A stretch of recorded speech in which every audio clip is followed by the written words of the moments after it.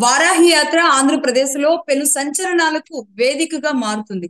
ముఖ్యంగా అధికార పార్టీ ఏదైతే తను నమ్ముకుంటూ వస్తున్న కొన్ని అంశాలు ఉన్నాయో అటు వాలంటీర్లు గాని లేదంటే విశాఖ రాజధానిగా ఈ రెండు అంశాల విషయంలో చాలా సీరియస్గా ఆ, ముందుకెళ్తున్నాం. ఇదే మా ఆయు పట్టు అన్నట్టుగా ఒక పార్టీ చాలా బలంగా నమ్ముతూ వెళుతుందో ఈ సిద్ధాంతాలని అంటే దీంతో పాటు ఇంకా అనేకం ఉన్నాయి. వాటితో పాటు దేన్నైతే ఎక్కువగా నమ్ముతూ వెళుతుందో ఆ ఆయువు పట్టు మీదే పవన్ కళ్యాణ్ ఈ రోజు బాణాలు సంధిస్తూ ఉన్న పరిస్థితి కనబడుతుంది.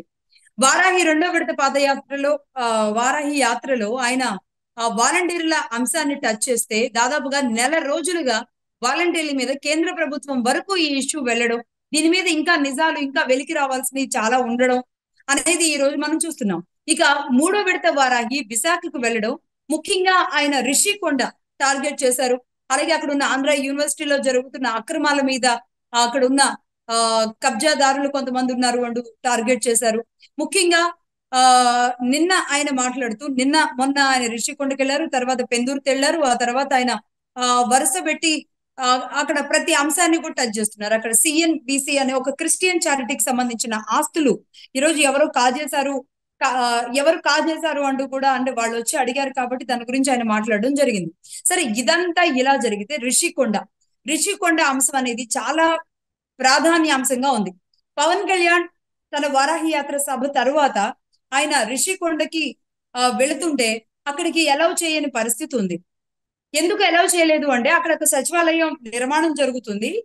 ఆ సచివాలయ నిర్మాణం చేస్తున్నాము. రేపు రాజధానిగా ఇక్కడికి రాబోతుంది కాబట్టి రాష్ట్రం రాష్ట్ర ముఖ్యమంత్రి. ఆ, ఇక్కడ సచివాలయ నిర్మాణం జరుగుతుంది సెక్రటేరియట్ జరుగుతుంది అంటూ అధికారిక వైసీపీ ఆ వెబ్సైట్లో ఆ అంశాన్ని పొందుపరచడం ఆ తర్వాత కొంతమంది మంత్రులు కూడా దానికి సంబంధించి మాట్లాడడం మనం చూసాం. అయితే ఇప్పుడు ఆల్ ఆఫ్ సడన్గా ఏమైందో తెలియదు ఎందుకంటే రిషికొండ ప్రాధాన్యం రిషికొండకి రిషికొండ విషయంలో తీసుకోవాల్సిన జాగ్రత్తలు ముఖ్యంగా విశాఖ వాసులకి ప్రకృతి నిపుణులందరికీ తెలుసు. దీని మీద ఇప్పుడు ఒక ఒక రోజంతా దుమారం లేసిన తర్వాత దుమారం రేగిన తర్వాత ఈ రోజు అధికారిక ట్విట్టర్లో పాత ఇన్ఫర్మేషన్ ఏదైతే ఉందో దాన్ని తీసేసి కొత్త ఇన్ఫర్మేషన్ పెట్టారు. ఏంటిది అది? ఇది పర్యాటక ప్రాంతంగా దీన్ని అభివృద్ధి చేస్తున్నాం. పర్యాటకానికి సంబంధించి డెవలప్ చేయడానికి అక్కడ అక్కడ కొన్ని బిల్డింగ్స్ కడుతున్నాము అనేది ఇప్పుడు కొత్త అంశాన్ని తెర మీదకి తీసుకొచ్చి పాత ట్వీట్ ఏదైతే ఉందో దాన్ని తీసేసి చేశారు. అయితే దీని మీద మళ్ళీ కొంతమంది అంటే అసలు అది కనబడడం కూడా కనబడడం లేదు. ఆ తరువాత మళ్ళీ కనబడకుండా కనబడకుండా ఉన్న ట్వీట్లు కూడా చాలా మంది సోషల్ మీడియాలో నిన్నటి ట్వీట్ ఇది ఇవాళ ట్వీట్ ఇది అంటూ ఎప్పుడైతే సోషల్ మీడియాలో వైరల్ అయిందో మధ్యాహ్నం పన్నెండు గంటల నుంచి ఇప్పుడు మళ్ళీ కొత్త వాదన ఈ రోజు అధికార పార్టీ ఎంచుకున్నట్టుగా కనబడుతుంది. అదేంటి అంటే మేము నిన్నటిది అంటే అనుకోకుండా వచ్చింది అంటే పొరపాటున వచ్చింది ఇది మానవ తప్పిదాలు ఎవరైనా చేస్తారు అంటే ఈ రోజు సరిదిద్దుకునే ప్రయత్నాలు జరుగుతోంది. నిజంగా అమరావతి సిఆర్డిఏ అన్న విషయం తెలిసిన తర్వాత సిఆర్డిఏ చట్టంలో ఉంది కాబట్టి దీన్ని ఆమోది దీన్ని ఇది రద్దు చేయడం అంత ఈజీ కాదని కోర్టు చెప్పిన తర్వాత కోర్టు చెప్పడానికి లోపుగానే కోర్టు తీర్పు రావడానికి లోపుగానే ఈ బిల్లు ఏదైతే అమరావతి అమరావతి విషయంలో ప్రభుత్వం వేసిందో దాన్ని వెనక్కి తీసుకోవడం మనం చూసాం. అది మానవ తప్పిదం. దాంతో పాటు కోర్టులు ఇప్పటి వరకు నూట యాభై కేసుల మీద అనేక రకాల మొట్టికాయలు వేశాయి. ప్రతి దానికి ముందుకు వెళ్ళడం వెనక్కి రావడం. అది కూడా మానవ తప్పిదమే.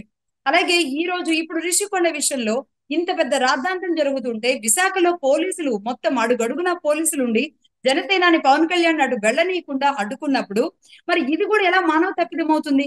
ఇంత సీరియస్ ఇష్యూని మానవ తప్పిదం అంటే రేపు వాలంటీర్ల విషయంలో కూడా రేపు మానవ తప్పిదం అని అనరు అని ఏంటి? ముఖ్యంగా మూడు రాజధానుల విషయంలో ఇలా మూడు ఆటలుగా ఇప్పటికే సాగుతుంది అంటూ అటు అమరావతి రైతులు అనేక మంది సంఘాలు అమ- ముఖ్యంగా ఆంధ్రప్రదేశ్ భవిష్యత్తు కోరుకునే వాళ్ళందరూ ఆందోళన వ్యక్తం చేస్తున్న ఈ పరిస్థితుల్లో ఇలా ఒక ప్రభుత్వం మానవ తప్పిదాలు పొరపాట్లు చేయడాలు వెనక్కి తీసుకోవడాలు కేసులు మళ్ళీ రాజ్యసభలో విజయసాయి రెడ్డి గారు మొన్న మధ్య ఒక మాట అన్నారు. ఇలా అంటే ప్రతి అంశం కోర్టుల విషయంలో మాకు ఏమైనా కొంచెం కన్సిడర్ చేయండి రాష్ట్రానికి.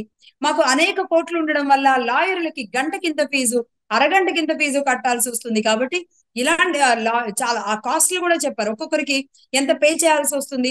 ప్రముఖ అడ్వకేట్స్కి అన్న విషయం కూడా చెప్పారు. అంటే ఇంత ఖర్చు మేము రాష్ట్ర ప్రభుత్వం నుంచి భరిస్తున్నామన్న విషయం. ఇన్ని రోజుల ప్రతిపక్షాలు మీరు ప్రతి కేసుని కూడా నాంచుతూ ప్రతి అంశాన్ని ఇంత పెద్ద పెద్దది చేస్తూ దాని మీద సంఘాలో లేదంటే ఎవరో ఒకరు కోర్టుకెళ్ళడం ఇంత పెద్ద రాద్ధాంతం రాష్ట్ర ప్రభుత్వం లాయర్ల కోసం కోర్టుల కోసం ప్రజాధనాన్ని దుర్వినియోగం చేస్తుంది అని అనేక సందర్భాల్లో ప్రతిపక్షాలు విద్యావంతులు మేధావులు ఎంతో మంది చెప్పారు. అయినప్పటికీ కూడా ఈ నాలుగేళ్ళలో రాజ్యసభలో ఈ రోజు మొన్న మధ్య విజయసాయి రెడ్డి గారు ఒప్పుకున్న అంశమే ఈ రోజు ఒక ప్రధాన అంశంగా డెఫినెట్గా చూడాలి. ఈ రోజు మానవ తప్పిదంగా తమ వెబ్సైట్లో తమ తమకు సంబంధించిన దాంట్లో పెట్టి ఈ రోజు అది లేకుండా చేసి అది కనబడకుండా చేసి ఇప్పుడు మళ్ళీ మానవ తప్పిదం అని తప్పించుకునే ప్రయత్నం చేస్తే ఈ రోజు రిషికొండ విషయంలో ఏదైనా విధ్వంసం జరిగి రిషికొండ అక్కడ అక్కడ రేపు రేపు. ఎందుకంటే ఇవాళతో అయిపోయేదేం కాదు. పదేళ్ళలోనూ ఇరవై ఏళ్ళలోనూ ఈ ప్రపంచానికి నష్టం రాకపోవచ్చు. కానీ మున్ముందు భావితరాలు వందల ఏళ్ళ నాటి నుంచి రిషికొండ అలాగే సముద్రంతో పాటు ఉంది. వేల వేల వేల సంవత్సరాల నుంచి ఉంది. అలాంటప్పుడు ఈ రోజు ఇప్పటికిప్పుడే దీన్ని తొలగించడం ద్వారా రేపు భవిష్యత్తు మరొక యాభై ఏళ్ళ తర్వాత ఎలా ఉంటుంది? ఈ రోజు ఆలోచించాల్సిన అవసరం ఉంది. దీని మీద దానికి సంబంధించిన నిపుణులు సైంటిస్ట్లో వచ్చి మాట్లాడాల్సిన అవసరం ఉంది. కాదు సచివాలయం సెక్రటేరియట్ కడతాము అని చెప్పి ఒక సెక్రటేరియట్ దానికి సంబంధించి ఒక ఒక ఒక మాట చెప్పి ఆ తర్వాత కాదు ఇది పర్యాటక ప్రాంతంగా చేద్దాం అనుకుంటున్నామని మరొక మాట చెప్పి ఒక మంత్రి వచ్చి వాడు వీడు ఎవడరా నువ్వు అంటూ తిడుతూ మాట్లాడుతున్న భాషలో లేదంటే నేను ఇవాళ జోగి రమేష్ గారు కూడా మాట్లాడుతున్న మళ్ళీ అదే భూత పురాణాలు అదే తిట్ల దండకాలు ఇదే భాష తప్పితే ఇందులో ఏముంది? నిన్న కళ్యాణ్ నిన్న పవన్ కళ్యాణ్ గారు ఒక విషయాన్ని చాలా సీరియస్గా అడిగారు. ఇక్కడున్న ఎంపీ విశాఖలో ఇంతమందిని రక్షిస్తాడు అని గెలిపించుకున్న ఎంపీ కుటుంబానికి నిజంగా ఆ ఆ రక్షణ లేకపోతే నిజంగా ఆ ఎంపీకి సిగ్గుండాలి అని ఆయన కొంచెం ఘాటైన వ్యాఖ్య మాట్లాడారు. ఎందుకంటే ఏ చిన్న కుటుంబం అయినా ఏ సామాన్య కుటుంబం అయినా తమ కుటుంబ సభ్యుల్ని ఎవరో రౌడీ షీటరో ఎవరో తీసుకువెళ్తారు తీసుకువెళితేనో కిడ్నాప్ చేస్తేనో ఎవ్వరు ఉపేక్షించరు. ఎవ్వరూ ఊరుకోరు. తమ కుటుంబానికి ఏదైనా జరిగితే గనుక అడ్డుకట్టలాగా నిలబడే పరిస్థితి ఉంటుంది. అలాంటిది అంత పెద్ద ఆయన ఎంపీ అలాగే ఆయన ఎంతో బిజినెస్ చేశారు విశాఖ నుంచి. ఒక మంచి పేరున్న వ్యక్తి చాలా సౌమ్యులు. ఎంవివి సత్యనారాయణ గారు అంటే సరే బిజినెస్ మ్యాన్గా ఆయన మీద ఏమైనా ఆరోపణలు ఉన్నాయి? పొలిటికల్ లీడర్గా ఇప్పటి వరకు ఎవరు ఆయన తిట్టింది లేదు. ఆయన్ని ఎవరు తిట్టింది లేదు. అలాంటి పరిస్థితుల్లో ఆయన కుటుంబం మీద జరిగిన ఇంత పెద్ద వివాదంలో ప్రతిపక్షాలు డెఫినెట్గా క్యాచ్ చేసుకుంటాయి దాన్ని.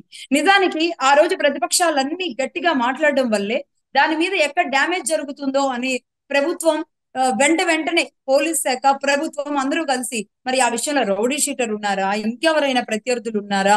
రేపేమైనా ఫ్యామిలీకి థ్రెట్ ఉందా? ఏమీ తెలియదు ఒక రౌడీ షీటర్ అయినా సరే ఎంత ధైర్యం ఉండాలి ఆంధ్రప్రదేశ్లో ఒక ఒక ఎంపీ కుటుంబాన్ని కిడ్నాప్ చేయాలంటే ఒక నార్మల్ రౌడీ షీటర్కి ఎంత ధైర్యం ఉండాలి? అతని వెనక ఎవరున్నారు? అసలు ఆ రౌడీ షీటర్ల చిట్టా ఏంటి? విశాఖలో రౌడీ షీటర్లు ఎందుకున్నారు? ఇవన్నీ తేల్చాల్సింది పోయి దీని మీద గట్టిగా ప్రతిఘటించాల్సింది పోయి దీని గురించి మాట్లాడిన ఆ ఎంపీ రఘురామకృష్ణరాజు గారిని లోక్సభ ముందు అందరు ఎంపీలు దేశంలోని అనేక మంది ఎంపీలు చూస్తూ ఉండగా ఆయన మీద మా మాటలు దాడి చేసేలాంటి పరిస్థితికి ఎంబీవి సత్యనారాయణ గారు వెళ్ళిపోయారు. ఈ రోజు అదే అంశాన్ని ప్రస్తావించినందుకు ఎంబీవి సత్యనారాయణ గారు ఈ రోజు మీడియా ముందుకు రావడం జరిగింది. ఆయన ప్రెస్ మీట్ పెట్టారు. ఆయన పేపర్లు ప్రతి అక్షరం ప్రతి సబ్జెక్టు ప్రతి అంశం కూడా చూసుకుంటూ ఆయన మాట్లాడుతూ ఆయన తిట్టారు. నాకు నువ్వు అసలు నా నాతో పోటీ చేసే దమ్ము నీకుందా? వార్డు మెంబర్గా గెలవలేని వాడివి ఎమ్మెల్యేగా కూడా గెలవలేని వాడివి. నువ్వెలా మాట్లాడతావండి ఈ రోజు పవన్ కళ్యాణ్ని ఆయన కూడా ఎన్ని దూషించాలో అని దూషించారు.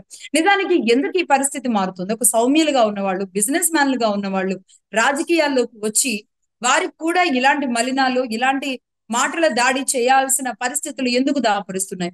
వారి కుటుంబం కిడ్నాప్ అవడానికి రాజకీయం కారణమా? వ్యాపారం కారణమా?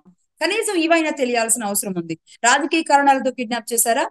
ఇది వ్యాపార కారణాలతో కిడ్నాప్ చేశారా? ఈ అంశాలైనా తెలియాల్సిన అవసరం ఉంటుంది.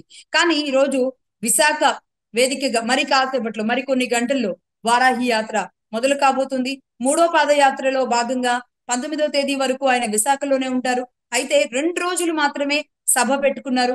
మనం మొన్న సభ చూసాం. మళ్ళీ ఈ రోజు పవన్ కళ్యాణ్ గారి సభ ఉండబోతుంది. మరి ఏం మాట్లాడబోతున్నారు? ఇప్పుడు ఇప్పటికిప్పుడే ప్రభుత్వం అక్కడికి పవన్ కళ్యాణ్ గారు వెళ్ళిన తరువాత ఆ తను తను అటు రోజా గారు మాటల దాడి మరొక వైపు జోగి రమేష్ గారు మాటల దాడి మరొక వైపు అక్కడ ఉన్న ఎంబీవి సత్యనారాయణ గారు ఈ రోజు ఆయన ఆయన మాటల దాడి. సరే పవన్ కళ్యాణ్ గారు ప్రతిపక్ష నాయకుడుగా అక్కడ ఉన్న సమస్యల మీద గట్టిగానే మాట్లాడుతూ ఉన్నారు. మరి ఆ సమస్యల్లో భాగంగా వీళ్ళు కూడా దాడి పెంచారు. డెఫినెట్గా పెంచుతారు. అధికార పార్టీలో ఉన్న వాళ్ళు కాబట్టి తమ మీద ఏదైనా అది అది నిజమని ప్రజలు నమ్ముతారేమో దీన్ని ఖండించాలి అన్న ఉద్దేశంతో డెఫినెట్గా ఆ పార్టీ సమాధానం చెప్పుకోవాల్సిన అవసరం ఉంటుంది కాబట్టి మేబీ ఎంబీబీ గారు వచ్చారు. కానీ వచ్చిన వచ్చిన ఎంబీబీ గారు జగన్మోహన్ రెడ్డి గారి అంటే ఆయన అదే పార్టీలో ఉన్నారు కాబట్టి జగన్మోహన్ రెడ్డి గారి ఔన్నత్యాన్ని ఆయన ఆయన సాహసాన్ని ఆయన ధైర్యాన్ని ఆయన గొప్పతనాన్ని పొగుడుతూనే పవన్ కళ్యాణ్ గారికి అసలు ఒక రాజకీయ నాయకుడిగా పరిపక్వత లేదు. అసలు రాజకీయ నాయకుడే కాదు అంటూ అనేక రకాల ఆరోపణలు చేశారు. ఎంవివి గారు కూడా ఆయన సినిమా పరిశ్రమలో ఉన్న వ్యక్తే. ఆయన కూడా నిర్మాతగా కూడా పనిచేశారు. ఆ కొన్ని దాంట్లో ఆయన యాక్టింగ్ కూడా ఏదో చేసినట్టున్నారు. మేబీ తెలియాలని సినీ పరిశ్రమలో ఆ ఎంతో కొంత కొంచెం ఆ టచ్ ఉన్న వాళ్ళకి ముఖ్యంగా ఈ పరిశ్రమలో ఉన్న వాళ్ళని అంతగా దూషించి దూషిస్తే మళ్ళీ ఆ పరిణామాలు అవి మళ్ళీ ఇంకో రకంగా మారే పరిస్థితులు ఉంటాయి ఇది పొలిటికల్గా పొలిటికల్గా జరిగిందా? పరిశ్రమ టు పరిశ్రమ జరిగిందా? లేదంటే ఎంబీవీ గారు వెనక్కి ఇంకెవరైనా ఉండి మాట్లాడించారా? లేదంటే జరుగుతున్న డ్యామేజ్ని పూడ్చుకోవడానికి ఆయనే వచ్చి ఆ, ఈ ఈ మాటలు మాట్లాడారా? ఏదేమైనా. అసలు రిషికొండ విషయంలో ఏం చేస్తున్నాం? వైజాగ్ విషయంలో ఏంటి? లేదు అంటే తమ కుటుంబ సభ్యుల్ని ఎవరు ఎవరు తీసుకువెళ్ళారు అంటే ఆ రౌడీ షీటర్ ప్రస్తుతానికి ఎక్కడున్నాడు? అసలు ఎందుకు తీసుకువెళ్ళాల్సి వచ్చింది? ఇది ఏమైనా రోడ్డు మీద వెళుతూ చెట్లు పెం చెట్లు పెరు పెరుకుంటూ రోడ్డు మీద ఉన్న చెట్ల పువ్వులు కోసుకుంటూనో ఆ చెట్లని ఆ వేళతో సహా పెకిలించి ఇలా చిన్న చిన్న మొక్కల్ని మొక్కల్ని గనక పెకిలించి తీసుకెళ్తున్నట్టుగానో లేదంటే ఎక్కడైనా జామకాయల బండి ఉంటే ఆ జామకాయలు దొంగిలించినట్టు కాదు. ఒక ఎంపీ మెంబర్ ఆఫ్ పార్లమెంట్ దేశానికి చట్టాలు చేసే సభలో ఉండే పార్లమెంట్లోని లోక్సభలో ప్రాతినిధ్యం వహిస్తున్న మనిషి ముఖ్యంగా దాదాపుగా ఏడు లక్షల పైచిలకు ఓటర్లు ఉన్న ఒక పార్లమెంట్ సెగ్మెంట్కి ప్రాతినిధ్యం వహిస్తున్న మనిషి ఇలాంటి ఇలాంటి ఆయన కుటుంబాన్ని ఒక రౌడీ షీటర్ తీసుకువెళ్ళారు. దానికి పోలీస్ శాఖని నేను పొగ్గుడాను పోలీస్ శాఖ చాలా బాగా పనిచేశారంటున్నారు. ఇఫ్ ఇన్ కేసు వారి కుటుంబ సభ్యులకు ఆ రోజు ఏ ఏదైనా జరుగుంటే ఏదైనా గాయం జరుగుంటే ఎవరు ఎవరు ఈ రోజు సమాధానం చెప్పుండేవాళ్ళు? ఎంవివి గారు ఇలా మాట్లాడే అవకాశాలు ఉండవు నిజానికి ఆయనకు కూడా. అంటే రాజకీయ పరిస్థితుల నేపథ్యంలో ఏదైనా మాట్లాడుకోవచ్చు కానీ ఒక వివరణ మాత్రం ప్రజల ముందు పెట్టాల్సిన అవసరం ఖచ్చితంగా ఇవాళ రేపు ఉంటుంది కాబట్టి మరి ఆ వివరణ ఒక ఎంపీగా ఆయన పూర్తి స్థాయిలో పెట్టారా లేదా అనేది చూడాలి. మరి దీనికి మళ్ళీ పవన్ కళ్యాణ్ గారు మళ్ళీ ఆయన ఏం మాట్లాడతారో? ఎంబీవి గారు కూడా మాట్లాడింది చూశారు జోగి రమేష్ గారు మాట్లాడింది చూశారు కాబట్టి మరి ఆయన ఏం సమాధానాలు చెప్తారు? తిట్టుకు తిట్టు పంటికి పన్ను కంటికి కన్ని కాకుండా తిట్టుకు తిట్లు కాకుండా ఈ మధ్య కాలంలో వరుసగా పవన్ కళ్యాణ్ గారి మాటల్లోనో ఆయన తీరులోనో ఆయన వాగ్బాణాలు అంటే ఒక ఒక పరిపూర్ణమైన పరిపక్వత కలిగిన పూర్తి స్థాయి రాజకీయ నాయకుడిగా అనుకున్న సబ్జెక్ట్ మీద లెక్కలతో సహా మాట్లాడుతూ చాలా వివరణాత్మకంగా చెబుతూ ప్రజలందరికీ అర్థమయ్యేలా చెబుతూ ఏదేమైనా ఆయన తీరు ఆయన ప్రసంగాలు సాగుతున్న నేపథ్యంలో మరి ఈ రోజు ఆయన ఏమన్నా మొన్న మొన్న సభలో కూడా ఎవరిని పర్టికులర్గా పర్సనల్ టార్గెట్ చేయలేదు. నిన్న కూడా మీడియా అంతా ముందుకొచ్చి మాట్లాడినప్పుడు మాత్రమే ఎంపీ గురించి ఆయన మాట్లాడడం జరిగింది. మరి ఇవాళ సభలో మొన్నటి సభలో ఎక్కడ ఎవరిని పర్సనల్గా దూషించలేదు బట్ కానీ జగన్మోహన్ రెడ్డి గారిని మాత్రమే ఆ వారందరూ ఈయన మీద ట్రోల్ చేస్తున్నారు. కాబట్టి నేను అదే విధంగా పెళ్ళిళ్ళ గురించి మాట్లాడారు కాబట్టి నేను పేరు పెట్టే పిలుస్తాను అని ఏదైతే వారాహి మూడు రెండో విడత పాదయాత్రలో ఆ వారాహి యాత్రలో చెప్పారో ఈసారి అదే పేరు పెట్టి పిలుస్తూనే మాట్లాడుతున్నారు. అది వైసీపీకి చాలా హర్టింగ్గా ఉంది. పేరు పెట్టి ఎందుకు పిలుస్తారు ఒక ముఖ్యమంత్రిని అంటూ మరి మంత్రులు కూడా అదే సీరియస్గా ముందుకు వస్తున్నారు ఇవాళ ఎలా ఉండబోతుందో చూద్దాం. మరి కాసేపట్లో మరి కొన్ని గంటల్లో వరాహి యాత్ర మొదలు కాబోతుంది. అలాగే దాదాపుగా ఆరు ఏడు గంటలకి పవన్ కళ్యాణ్ గారు ప్రసంగం కూడా మొదలవుతుంది. ఏడు గంటలు అప్రాక్సిమేట్లీ ఏం మాట్లాడతారు? విశాఖ వేదికగా ఈ రెండు మూడు రోజుల్లో ఆయన అక్కడే ఉండి గమనించిన విషయాలేంటి? అలాగే ఎర్రమట్టి దిబ్బల అంశం ఉంది. అలాగే ఇంకా అనేక చోట్ల అక్కడ కూడా కబ్జాలు అయ్యింది అని చెబుతున్న నేపథ్యంలో అలాగే విశాఖ స్టీల్ గురించి ఆయన గతంలో మాట్లాడలేదు అంటూ పదే పదే ఆ, ఆ, అడుగుతున్నారు. ఎందుకంటే ఎన్డీఏలో ఉన్నారు కాబట్టి మరి విశాఖ స్టీల్ గురించి ఎందుకు మాట్లాడలేదంటే ఈ రోజు అధికార పార్టీ ప్రశ్నిస్తుంది కాబట్టి మరి విశాఖ స్టీల్ గురించి ఏమైనా మాట్లాడతారా? దాని విషయంలో అసలు ఇప్పుడు కేంద్ర ప్రభుత్వం ఏ ఏ ఆలోచనతో ఉంది అన్న విషయాన్ని ఏమైనా ప్రజల ముందు ఉంచుతారా? మొత్తంగా విశాఖ టూర్ సభ అనేది ఇవాళ్టితో ముగియబోతుంది కాబట్టి పవన్ కళ్యాణ్ గారికి సభ. సభ మాత్రమే కానీ వారాహి యాత్ర పంతొమ్మిదో తేదీ వరకు ఉంటుంది కాబట్టి మరి ఎలా ఏం మాట్లాడబోతున్నారు మరి కొన్ని గంటల్లోనే తేలనుంది. దానికి సంబంధించి ప్రైమ్ నైన్లో మీరు ఎక్స్క్లూజివ్గా చూడొచ్చు.